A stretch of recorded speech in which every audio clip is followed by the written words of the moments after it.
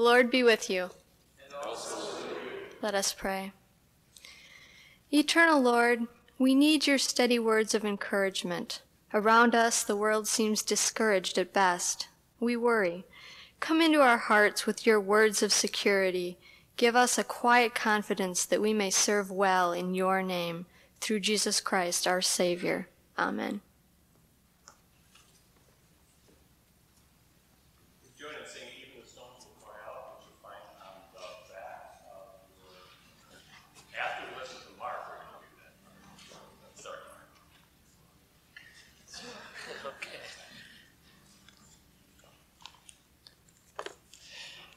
The first reading is Amos 2 6 through 7. Thus says the Lord, For three, three transgressions of Israel, and for four, I will not revoke the punishment, because they sell the righteous for silver, and the needy for a pair of sandals. They who trample the head of the poor into the dust of the earth, and push the afflicted out of the way. The second one is Micah 6 6 through 8. With what shall I come before the Lord, and bow myself before God on high? Shall I come before him with burnt offerings, with calves a year old? Will the Lord be pleased with thousands of rams, with ten thousands of rivers of oil? Shall I give my firstborn for my transgression, the fruit of my body for the sin of my soul? He has told you, O mortal, what is good, and what does the Lord require of you, but to do justice, and to love kindness, and to walk humbly with your God.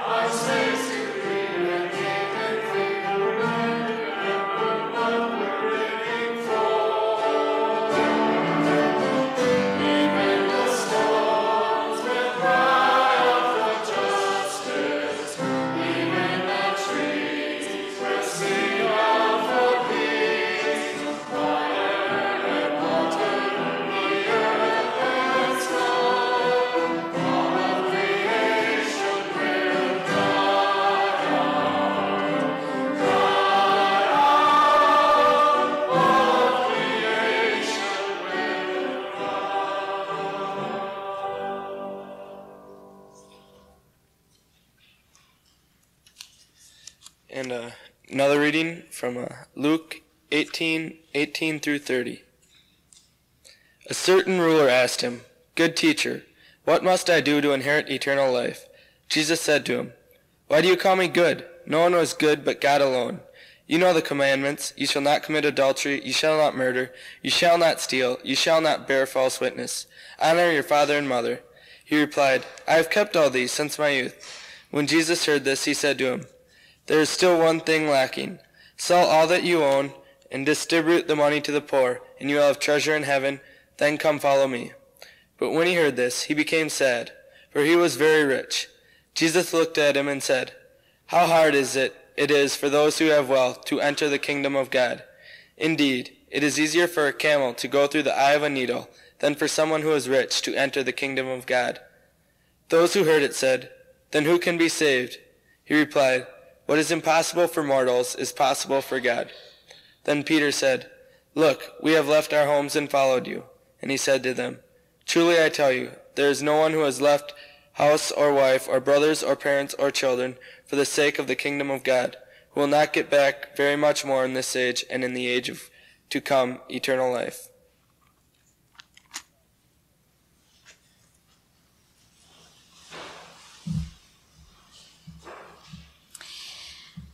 May the words of my mouth and the meditation of our hearts be acceptable in your sight, O God, our strength and our Redeemer. Amen. A few months ago, the Doonesbury comic strip ran a series on a young Asian American woman named Kim, who visited a Nike factory in China. And there she learned firsthand what the workers in those factories were experiencing on a day to day basis. She spoke a little bit of Chinese, just enough to know that her interpreters were not translating what the workers were really saying to her. Kim is also an American yuppie, an entrepreneur with her husband in the computer business. However, in the comic strip, she is spending her valuable time on a project of spreading the word about Nike's exploitative labor practices around the world. And so the irony for the author revolves around this yuppie social activist and the intertwining of these two realities together in one person. The prophet Amos has a word to say about this situation in the verses that were read a minute ago. They have sold the poor for a pair of shoes, or as it says, sandals in that translation. Can the factory workers who produce these shoes for wealthy Americans afford to buy a pair for themselves? And some of these shoes will become famous. They'll be worn by professional athletes who can afford hundreds of pairs of Nike tennis shoes, while the factory workers who make them are barely able to feed their families. I had written this chapel talk a week ago, but yesterday morning in the newspaper, there was an article, an editorial on the commentary page. And I think it says what I was trying to say, except in a much stronger way. There, were, there are four pictures of athletes across the top, and then another picture of a worker tying, uh, uh, making a pair of shoes in Indonesia. The article goes on to say that Nike pays the workers $1.60 a day which is less than the $2.10 that it makes to that it takes to eat 3 meager meals per day.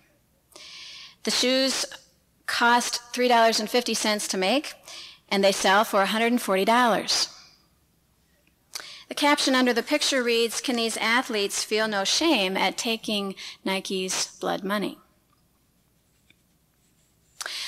Well, actually, when I started thinking about writing this chapel talk, it was the day that the newspaper told us that Kevin Garnett would get $125 million over the next six years for signing a contract with the Timberwolves. The day came and went, and while I would bet that most people think that professional athletes are paid too much, I think it's something that we've learned to live with. And I also think we've lost our sense of moral outrage. I figured it out this week. If top professional athletes make about 20 million a year, 20.8 million a year for somebody like Kevin Garnett. And if the lowest paid people in the Metrodome, say the ones who are selling concessions, are making minimum wage, that means that Garnett's salary is 1,800 times that of a worker at minimum wage. Well, that day as I was thinking about this talk, I also heard a sports psychologist talking on NPR as I was driving home.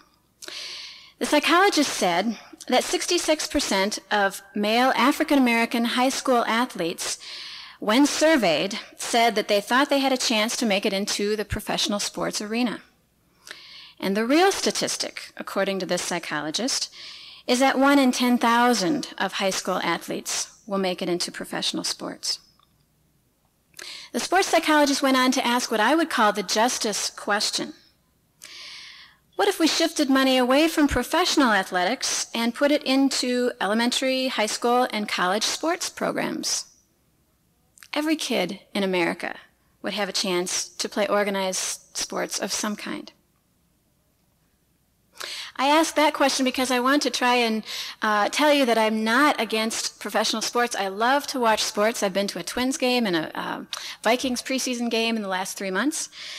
And I also, last year when the Gophers were doing so well, a bunch of us at my church went to the pastor and we said, could we change the time for the Easter vigil so that we could watch the Gophers game? The pastor said, yes, of course. And uh, my mind was not on the Easter vigil that night. I'm a little embarrassed to say that after both the vigil and the basketball game were over, I was more aware that the Gophers lost than that Easter was coming up the next day. My explanation of my, of my love of sports is more painfully uh, self-revealing than I thought it was going to be. There is something about the New Testament that is very specific, specific to a person, and in this case, in our gospel reading for the day, specific to the rich young ruler. We do not have a gospel of nice sounding abstractions. We have a gospel of specific conversations. And Jesus' words to the man are not comforting to him or to us. In fact, they are very razor sharp. The man goes away troubled and sad. And if we believe that Jesus was expressing the character of God in his words about the problem of wealth, then we, as relatively wealthy Americans, hear a convicting message, not a comforting message. I think the scary part about this text is that it's not talking about just charity. Jesus' instructions to the rich young ruler are more than that he should just give some money to the poor. He's, he's supposed to change his life. In February of this year, Martin Sabo, a graduate of Augsburg College and congressman in the U.S. House of Representatives, introduced the Income Equity Act of 1997. The bill would limit the tax deduction for top executive compensation to 25 times the salary of the lowest paid worker in the given company. The bill would not tell companies how much they should pay their employees because it would not limit the amount of pay, but it would look at the ratio between the highest paid worker and the lowest paid employee in a business. And it would tell companies that if they want tax breaks, they must consider how they pay their workers. The bill has not been successful, but I think that it reflects the values that Jesus is talking about in the gospel reading for today. While the Bible is about individuals, it's also bigger than individuals. It's about the kingdom of God. Jesus denounces the normalcy of systemic injustice, which ignores the poor and applauds the success of the wealthy. Jesus says it's not enough to just give to the poor. It has to do with who we are. It has to do with our very character. And Jesus, as God's representative, is saying that the very character of God is justice. Well, what are we going to do with the realization that sometimes the world looks remarkably rotten? I think that sometimes we need to reflect the razor sharp critique of Jesus' words. The system that creates economic injustice requires systemic change, practical reform, and systematic healing, something that Martin Sabo is working at right today. We must reflect Jesus' words, not because we have to, according to the law, but because we are followers of Jesus, because we are taking Jesus' words very seriously.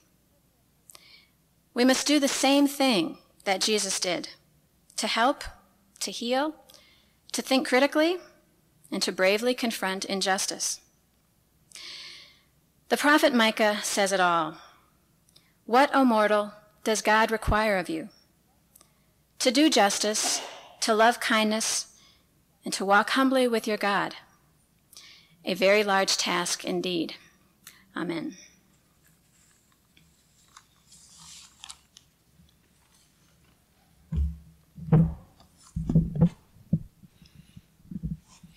Let us pray. O oh God, we thank you for life's abundance, and we ask for your forgiveness for misusing the resources that you have given us, and for creating injustices and inequities. Renew our faith that we may always continue your work and ours among your people. We pray for hope that one day millions of people around the world will no longer perish for lack of food or medicine. We pray for joy that children will no longer suffer from strife among nations, races, and faiths. We pray for love that your tender mercies will endure as the heart of our work among your children. We thank you for those who sacrifice what little they have to assist those who have not.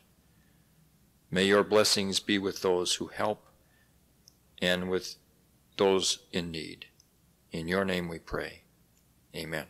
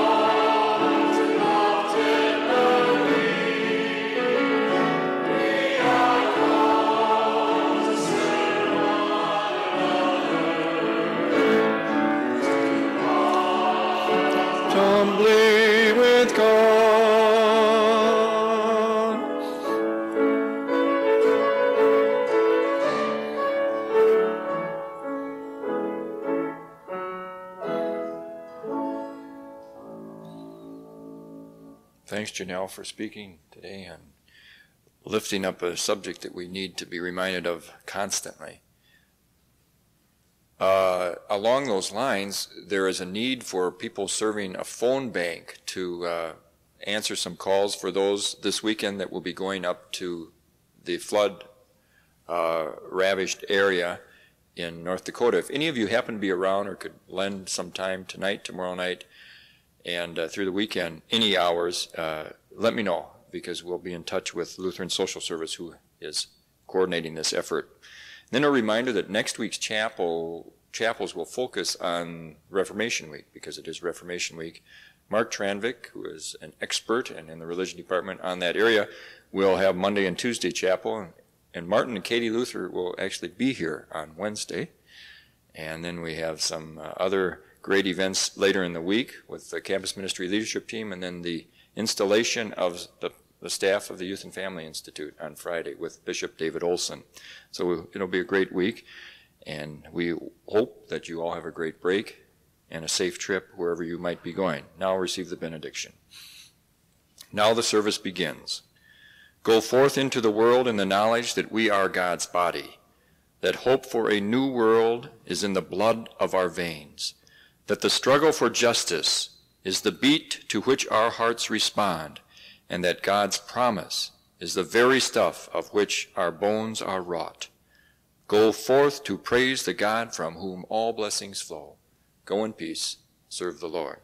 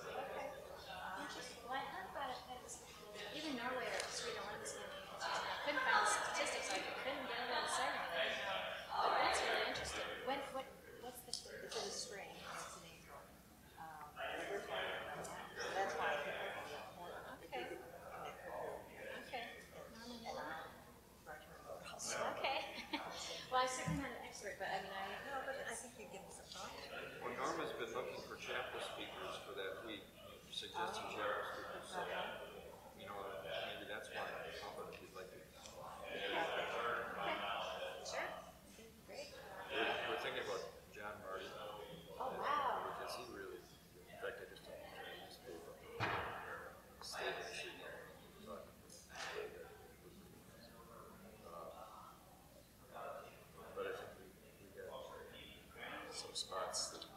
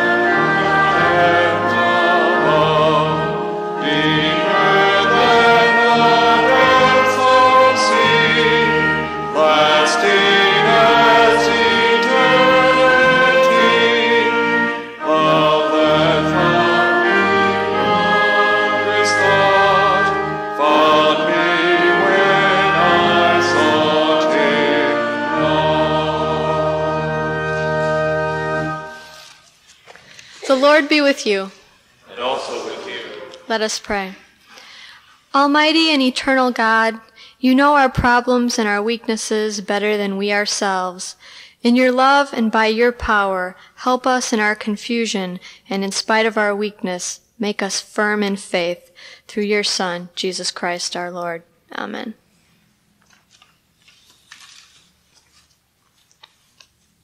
Have a seat.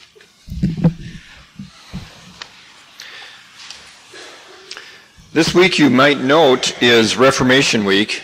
Now, not all of you uh, care a, a, whit about that, probably, but uh, some people who have uh, paid attention to uh, the history of Christianity, I guess, would know that this is a rather significant thing to commemorate, simply because Martin Luther did look at the way religion was being practiced in the church that he was a part of at that time and said something's afoul here. And that sort of shook the foundations of, of uh, the church at that time and has since. It just so happens that Mark Tranvik in our religion department is a specialist in Reformation theology. So we have asked him to take two days this week to look at this. And Mark, as you know, is uh, very able in many areas, but uh, particularly in this one. So he will now lead us in the rest of the service. One of the things that would have been common during the Reformation period was to have preaching services during the week. And in those services, parts of the small catechism, which Martin Luther wrote to help uh, instruct Christians in the basic of the basics of the faith, would have been used. And uh, in your order for service today, you'll notice that we have two parts of the small catechism uh, contained there. And I would like together to go through them the confession and the absolution. In other words, using the commandments as a confession and then reading together the absolution or hearing the forgiveness that came from God, that comes from God. This again would have been um, a regular part of a preaching service, as they called it in that time. So let us read together or confess in the Ten Commandments. I am the Lord your God. You shall have no other gods before me. You shall not take the name of the Lord your God in vain. Remember the Sabbath day and keep it holy. Honor your father and your mother. You shall not kill. You shall not commit adultery. You shall not steal. You shall not bear false witness to your neighbor. You shall not covet your neighbor's house. You shall not covet your neighbor's spouse, manservant, maidservant, cattle, or anything else that is your neighbor. And now the absolution. Again, please join me as we read the explanation to the second article of the Creed. I believe that Jesus Christ, true God, Son of the Father from eternity, and true man, born of the Virgin Mary, is my Lord. At great cost he has saved and redeemed me, a lost and condemned person. He has freed me from sin, death, and the power of the devil, not with silver and gold, but with his holy and precious blood and his innocent suffering and death. All this he has done that I may be his own, live under him in his kingdom, and serve him in everlasting righteousness, innocence, and blessedness, just as he is risen from the dead and lives and rules eternally. This is most certainly true.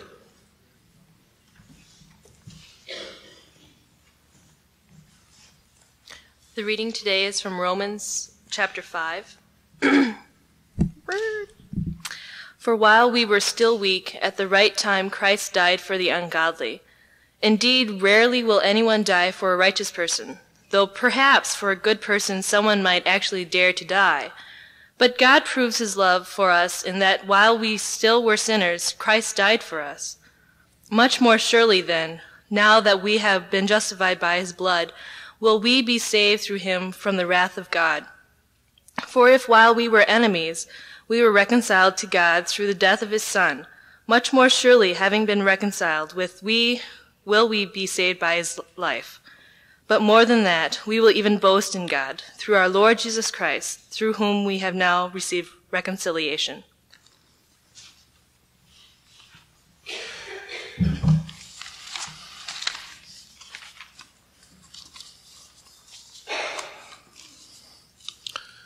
I also want to thank Zach Curtis for participating in this sermon, as you shall see. Let us pray. May the words of my mouth and the meditations of our hearts be acceptable in thy sight, O Lord, our strength and our Redeemer. Amen.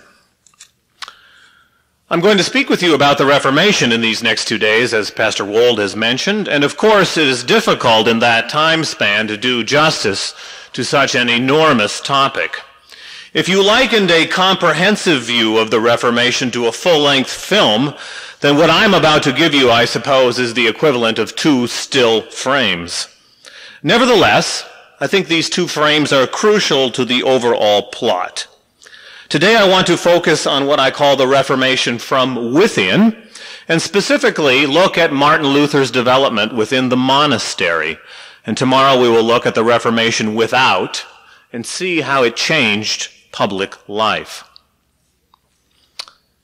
At the age of 21, on July 17, 1515, Martin Luther did something very curious he entered, I'm sorry, 1505, he entered a monastery.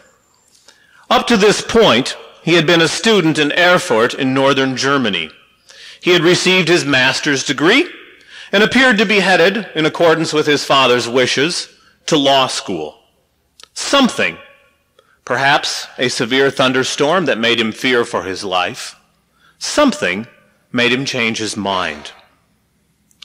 Now, monasteries were remarkable institutions. They were schools and libraries. In many ways, the Western intellectual heritage owes a great debt to monks for patiently copying texts, both sacred and secular, and passing them down to future generations. Monasteries also contained farms and bakeries and breweries. Monastic life was an, an, intricate weave of both the earthly and the spiritual. But in Luther's day, one entered a monastery because it was believed to be the most sure and certain way to heaven. It was the perfect form of Christian witness. Here was an opportunity to deny yourself, to suffer as Christ had suffered, and thus approximate his relationship to God. What, after all, could be more pleasing to God than a life wholly and purely dedicated to him? We know from some of the manuals of the day that Luther would have faced an interrogation when he went into the monastery that went something like this. You think filling out an application for college is a arduous affair. Listen to this.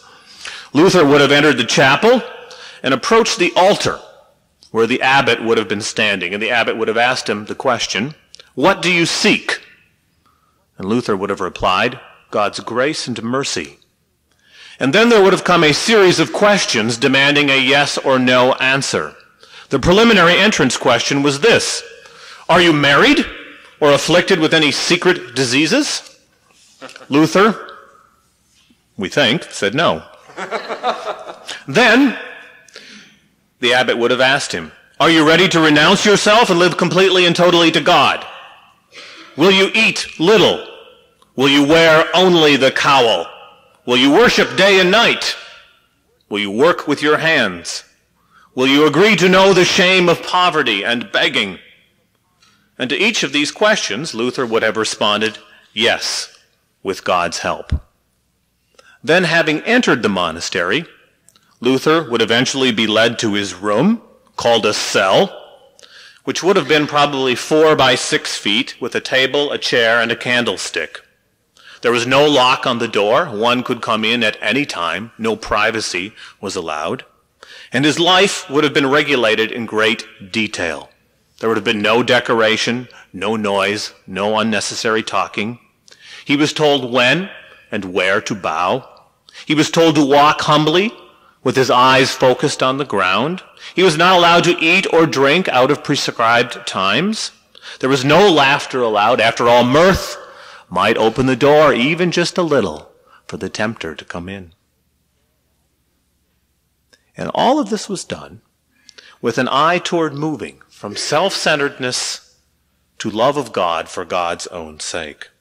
Luther tried to be the best monk that he could possibly be. He tried to mortify his flesh by fasting and praying and confessing his sins. But over a long period of time, he found that peace eluded him. The holy and almighty God would settle for nothing less than perfection. For Luther, it seemed as if there was always one more prayer to say, one more sin to confess. He used to drive his confessor crazy because he would confess his sins and he'd come, of course, he had to confess all his sins. Unconfessed sins remained on you. He would confess his sins, turn away, remember something that he had forgot to confess, come back, turn away, come back. And his confessor just shook his head and said, why don't you confess some real sins to me? Blasphemy, adultery, murder. You bothering me with all these trifles. But of course, Luther was in a crisis and in a crisis, good advice is often not heard.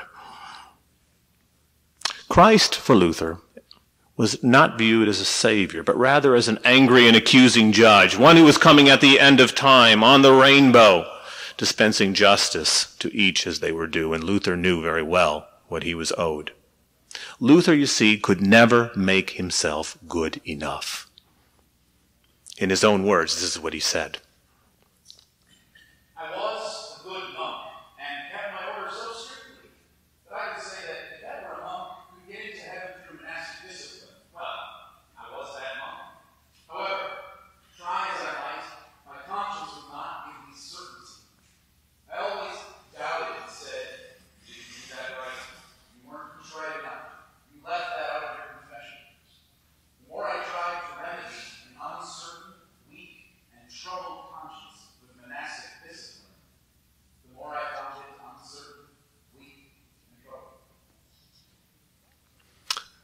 And thus began the downward spiral in the monastery, the frustration, the despair, the darkness, the spiritual turmoil that caused Luther to tremble at the prospect of his own condemnation. He really, truly felt he was cut off from God, condemned by God, and destined for hell.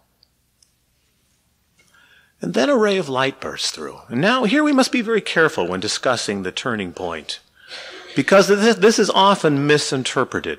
Luther is sometimes pictured as a great spiritual athlete who parts the clouds of confusion and finally breaks his way through to God.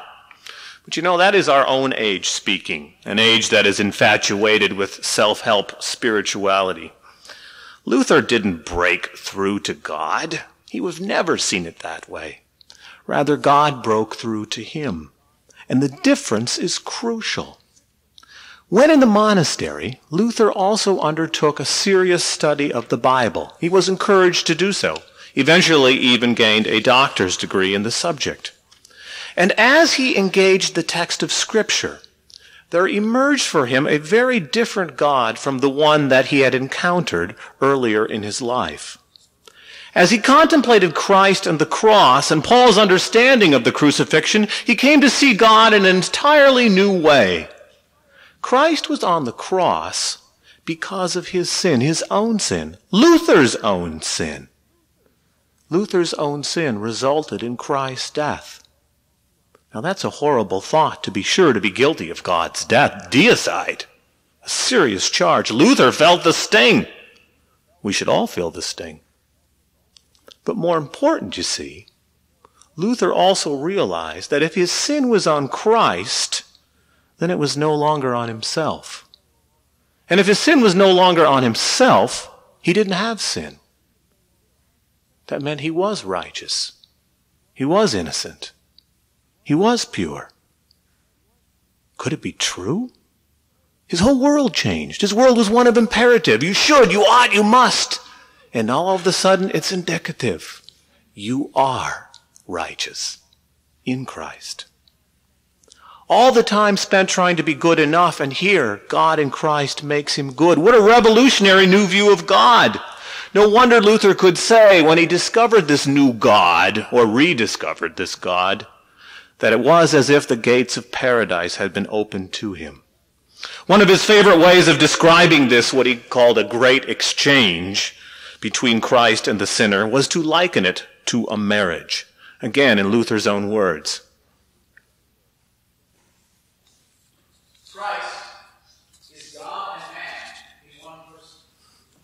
He has neither sinned nor died.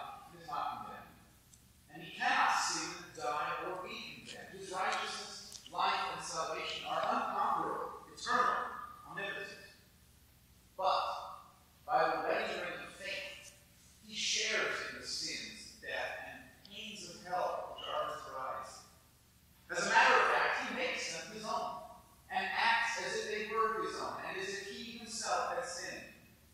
For this reason, he suffered, died, and descended into hell. Who can fully appreciate what this royal marriage means? Who can understand the riches of this grace? Here, this rich and divine bridegroom Christ marries this poor, wicked harlot, redeems her from all evil, and adorns her with his goodness. Armed with this new insight, this particular poor, wicked harlot would no longer remain in the monastery, nor would a lot of other people. As this new insight was proclaimed in pulpits and pamphlets and books, it would shake the very foundations of medieval society. And tomorrow we shall see how this revelation, revolution from within reverberated out into the public realm. Great changes were in the offing.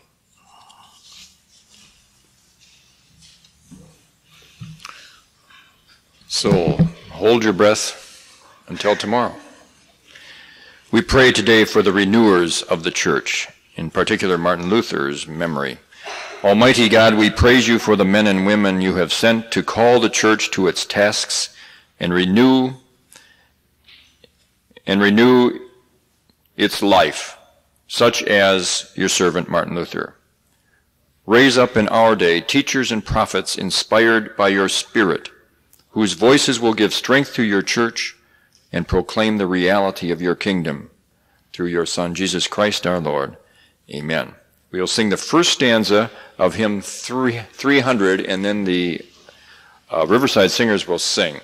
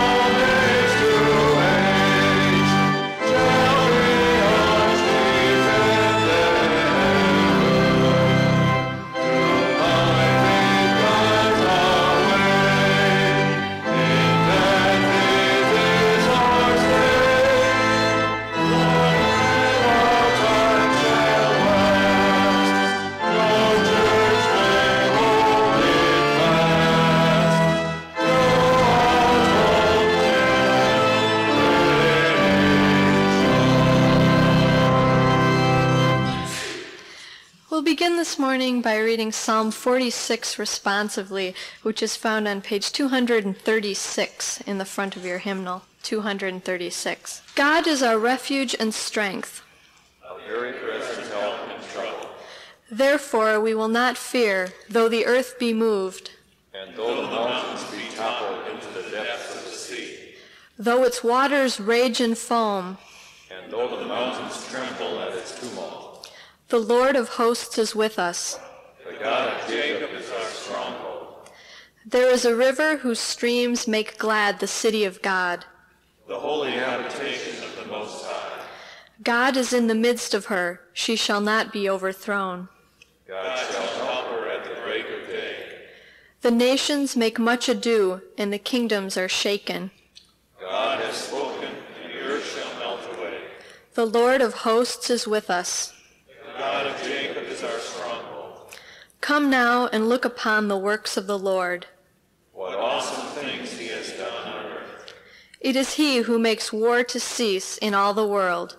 He breaks the bow and shatters the spear, and burns the shields with fire. Be still then, and know that I am God. I will be exalted among the nations. I will be exalted in the earth. The Lord of hosts is with us. The God of Jacob is our stronghold. The scripture reading is from John chapter 8, 31 through 36. Then Jesus said to the Jews who had believed in him, If you continue in my word, you are truly my disciples, and you will know the truth, and the truth will make you free. They answered him, We are descendants of Abraham and have never been slaves to anyone.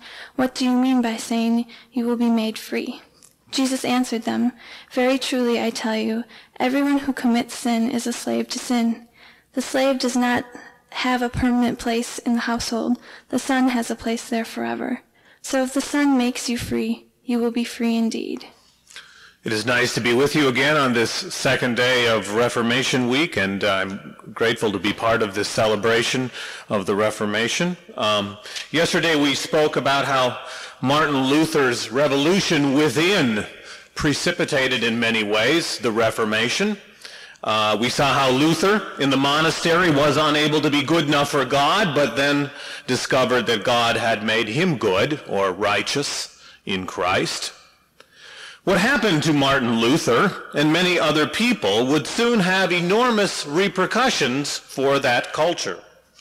In order to better understand the public dimension of the Reformation, let us paint a before and after picture of a typical German city in the 1500s.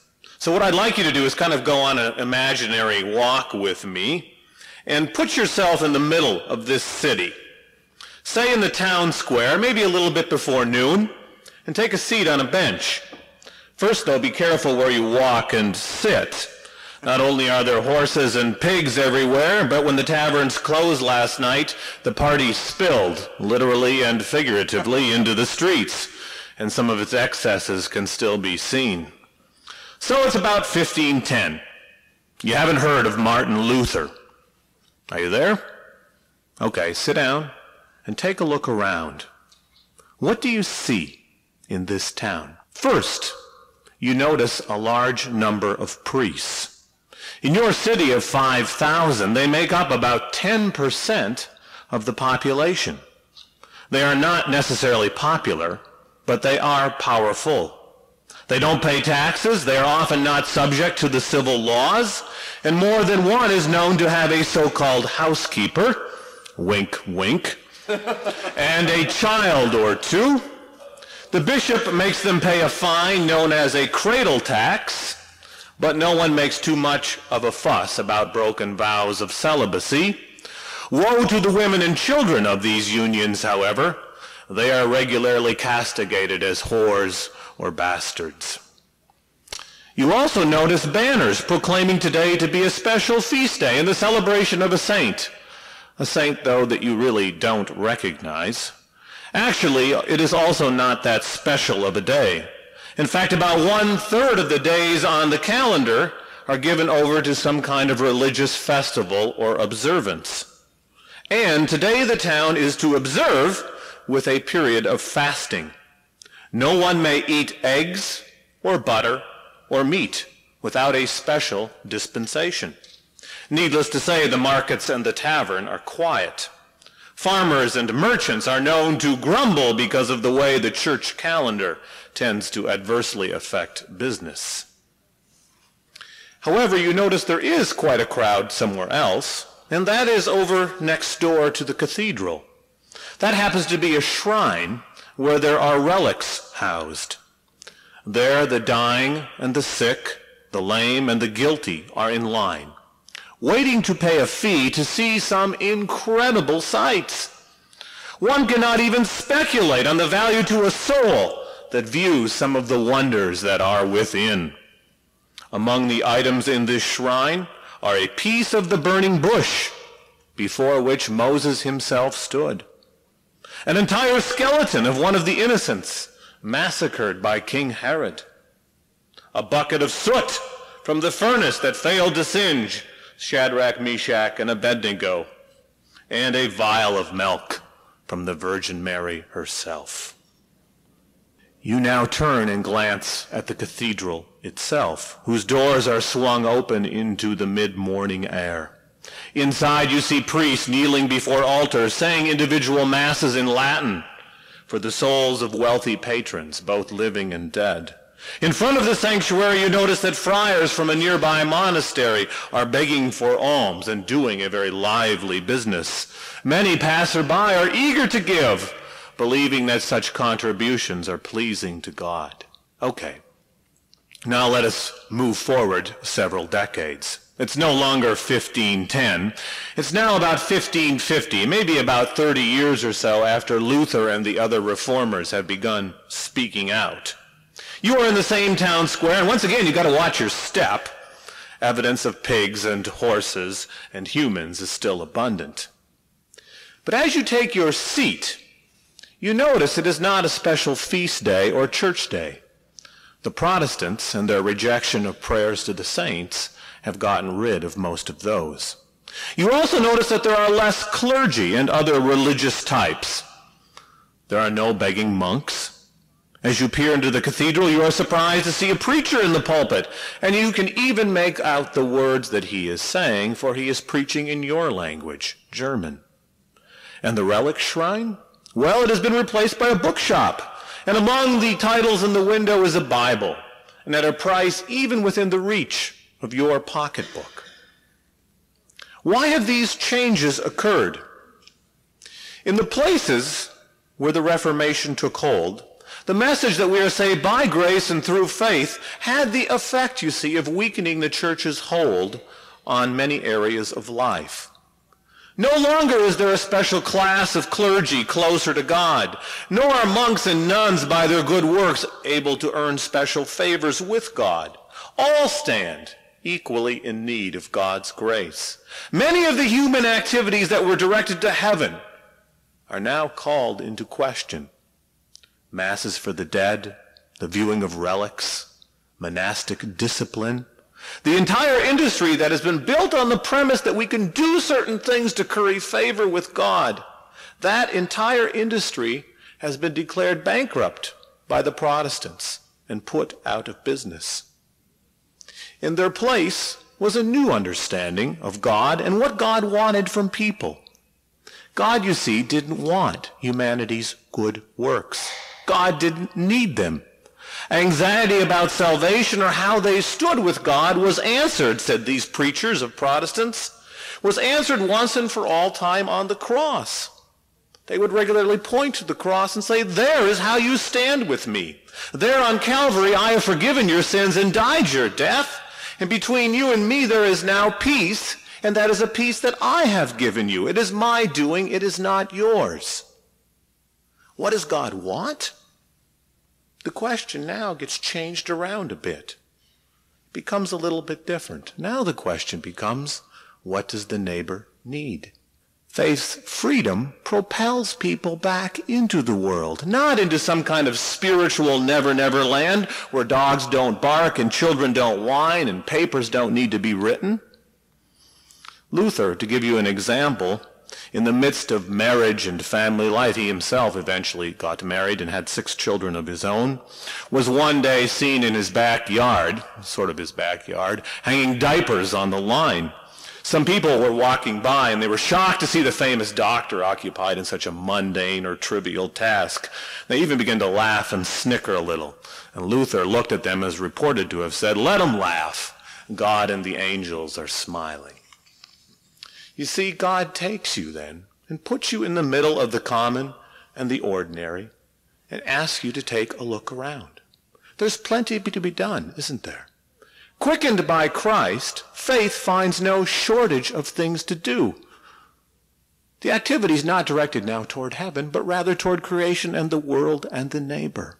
So in summary, the Reformation was not just a spiritual renewal. It was a profoundly public event. Luther's rediscovery of the gospel closed convents and monasteries, it put priests out of work, and it made printers busy with Bibles and catechisms. Moreover, it ennobled lay life. It told the farmers and the housewives and the merchants that their callings were just as pleasing to God as that of the clergy or the monks or the nuns. And perhaps then, there is a lesson in all of that for us as well. For from God we can only receive. But we live in a world that is desperate for love and justice and kindness. And here you see it is that faith becomes active and busy. Or as Luther said it, it is here that faith, he says, breaks out. It can't be restrained. All of life is now directed toward the benefit of the neighbor. Where Christ is rightly known, good works and love blossom and bear fruit. Think about these things. Amen. In the front of the book, you'll find a prayer for Reformation Day, and it's on page 36. And I thought, even though it is not Reformation Day, uh, it would be an appropriate prayer to pray, especially as we remember how Mark points out how each person has a vocation, and each person is seen as a valuable person, child of God, which wasn't being done at the time that Luther uh, lived his early life. Let us pray together. Almighty God, gracious Lord, pour out your Holy Spirit upon your faithful people. Keep them steadfast in your word. Protect and comfort them in all temptations. Defend them against all their enemies, and bestow on the church your saving peace. Through your Son, Jesus Christ our Lord, who lives and reigns with you in the Holy Spirit, one God, now and forever. Amen. Now please stand and hymn, uh, sing hymn 543.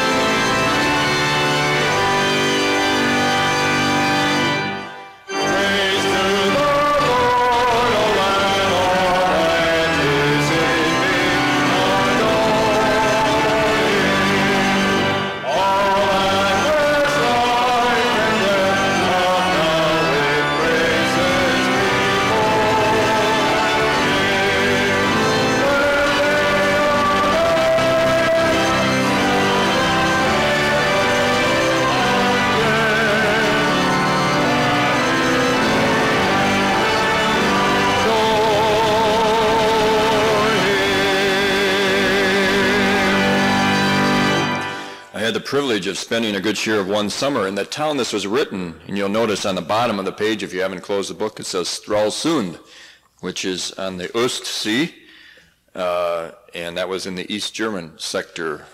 Now, it's all one Germany, of course, but that was a little town, or not real little, but it was a town that uh, couldn't stop talking about the fact that that's where the song had been written, and that was its main claim to fame. And every time you turn around, people said, Did you know that song was written here? we want to remind you that tomorrow Martin and Katie will be here, and you won't want to miss that. So uh, spread the word that Martin and Katie are somehow or other finding their way back here tomorrow. And uh, we also want you to know that right now is a critical time for promoting Advent Vespers. And if you could bring bulletin inserts to your churches, uh, it would be very helpful. And we have tons of them in the office. Stop in there, sign up, uh, tell how many you've taken and what church that has gone to, and that will eliminate some of our job of uh, getting them to various churches. Uh, and that also reminds us, Melissa probably will like to tell you that we need people for liturgical party. Talk to her, sign up on the door, whatever you can do. Now receive the benediction. Now may our Lord Jesus Christ himself and God our Creator, who loved us and gave us eternal comfort and good hope through grace, comfort your hearts and establish them in every good work and word. Go in peace. Serve the Lord. Thanks be to God.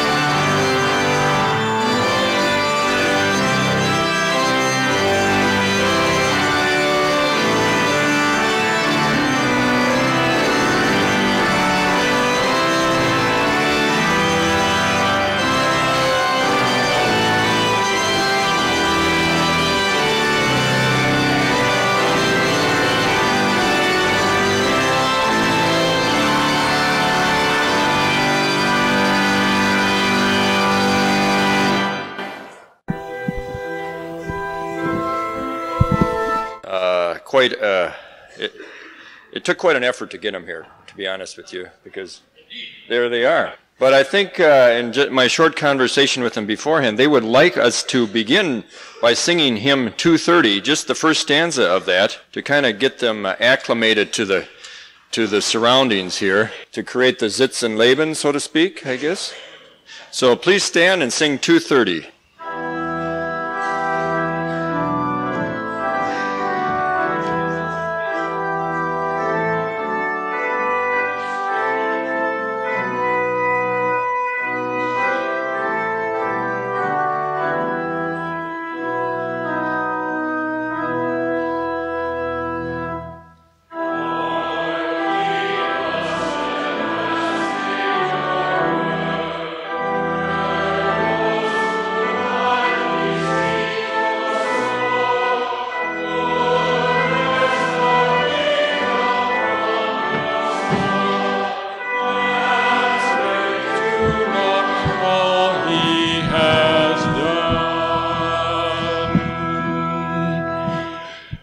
Name of the Father and of the Son and of the Holy Spirit.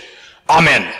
Please be seated. I realize you're hardly warmed up yet to really sing appropriately, but you can imagine what it's like for me a man who had discovered the gospel to try to warm up Germans to singing music at all. Why, I had to go and find the places where they were most accustomed to singing with any enthusiasm, and most of you know where that is. Even if you're not a German, you understand that until they have kind of lubricated their voice box adequately with those tankards of beer or ale, they couldn't express anything with some freedom. And so, after I discovered the truth of God's grace for me in Jesus Christ, I wanted somehow to express this truth throughout the world. And so I chose music. Oh, I liken music second only to theology itself. By it you can drive away the forces of temptation. Or a good hymn causes the devil to flee. So practice your singing, especially when you're going to go in temptation. For by this means you have an opportunity to express to God his great grace and mercy that you have known in Christ your Lord. And so I was a part of the wonderful reformation of music in Germany. We would sing with such enthusiasm. Why, it was pointed out to me once that more people were converted through the hymns that I wrote than through the preaching that I preached. and so you can imagine a person like me who was interested in the word, but I wanted that word to somehow sing with the greatness and goodness of God that people would know the truth and the truth would set them free. Ah, but alas, it may be true that there are some of you who even in our time are still laboring under that old and dull covenant, a covenant. Luther, it was the old covenant which I labored under as a nun in the Nimbschen convent. For you see, we too believed that somehow the more miserable you were, the greater your reward in heaven. And also that the longer that journey of suffering, the holier you would become. The more purified you became, the more you suffered. This is not the gospel, but this is what we believed. But truly, who suffered and went on that long journey of death and pain? Jesus Christ. That is the suffering of Christ that we proclaim so that we are free. But we were not free in the convent. As we beat ourselves, as we tried to fast and pray on our knees and for hours and hours and days at a time. This did not get us extra credit with God. By no means. It's the suffering of Christ that we proclaim. And it was that message that drove me out of that convent as I began to read Dr. Martin Luther's writings. For this too was what the Reformation was all about. But indeed, suffering is a part of life. We must not uh, look past the fact that we do suffer. Suffering was part of my life. I mean, if I was being punished by God, if we thought that suffering meant punishment, then I was punished being his wife. He was not an easy man to live with. He was caught up with all of the theological issues of the day. And I must say, not only did he suffer physically in pain and agony, physically all the time, writhing on the floor in pain, but I suffered having to bear the consequences of him in such agony. I wanted to help this man. I wanted him to be, you know, living in less pain. And so I learned the art of herbal medicine and I became very good at some of the home remedies. Why, you would be surprised at some of the concoctions I devised. Did you know that a little pig dung in red wine will cure a cough instantly? You can imagine she hardly heard me coughing when I saw the red wine coming my way. But nevertheless, I only had his, you know, his health in mind. And um, one day, when he was lying on the floor in pain, desperately crying out to Satan to have this removed from him, he said, Katie, no dung will do me any good today. Instead, apply the Word of God. Oh, the Word of God, I hadn't thought of applying that. I hadn't considered the healing balm that we find in God's Word, the comfort and the hope and strength that comes. For even there it says, in the world you ha- will have trouble, but be of good cheer, for I have overcome the world. Jesus said this. And so I took to memorizing scripture more regularly and began to read balming, healing words to my Dr. Luther instead of all these concoctions, which of course he preferred. But even things like the peacock drove Dr. Luther crazy. He used to say, the peacock dresses like an angel, walks like a thief, but sings like the devil. I dare say the choir will not be singing like that today, so you can listen with your ears open. But suffering, yes, it was a part of me. And, and my life there in Wittenberg was not easy. We had the Black Plagues come into Wittenberg, where casket after casket proceeded in front of our home. And we were desperate.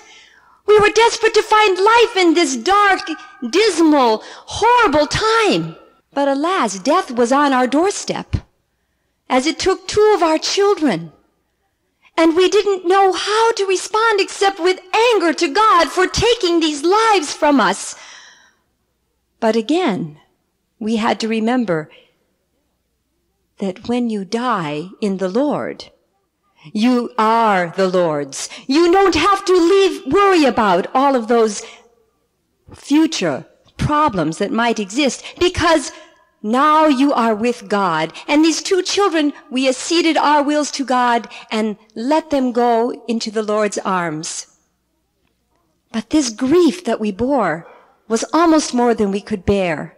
And then the psalm that I had memorized, Psalm 31, came to me, for it said, Christ knows our afflictions. And it was in that verse that I claimed the promise again of new life, of resurrection, when I realized that Christ knows everything we go through. He knows all of our trials. And the comfort came reading, Christ knows our afflictions. So claim that word for yourself today as you suffer and have many pains and trials throughout your life. That Jesus is with you in all of your suffering and you needn't worry. While we meditate on that word, let us hear from our choir, which has prepared a special piece for us today.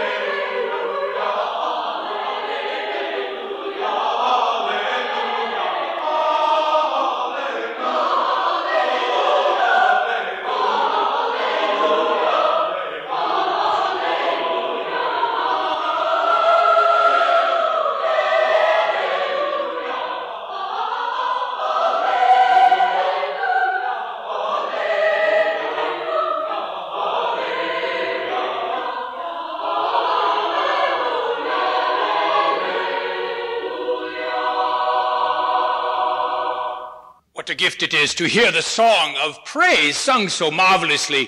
And thank you so much for sharing that great word of hope to each of us. For in our pattern of thinking in most of our lives, we live with this fear that somehow the sins which we commit in life will somehow come back to haunt us, and we must live with their consequences.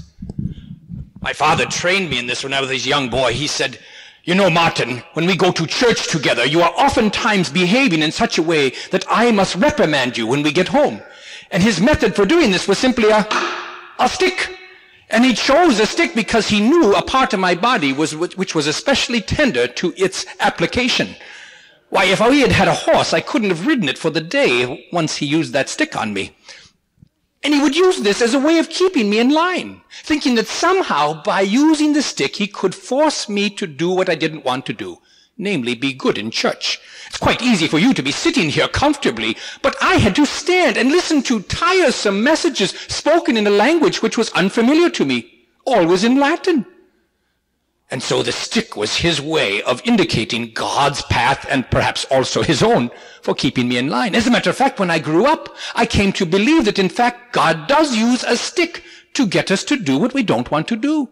For I could see in the scriptures and also through what I had studied that hell is this lake of fire where people go when they die. And you don't certainly want to end up there. It sounds like a pretty hot stick to me.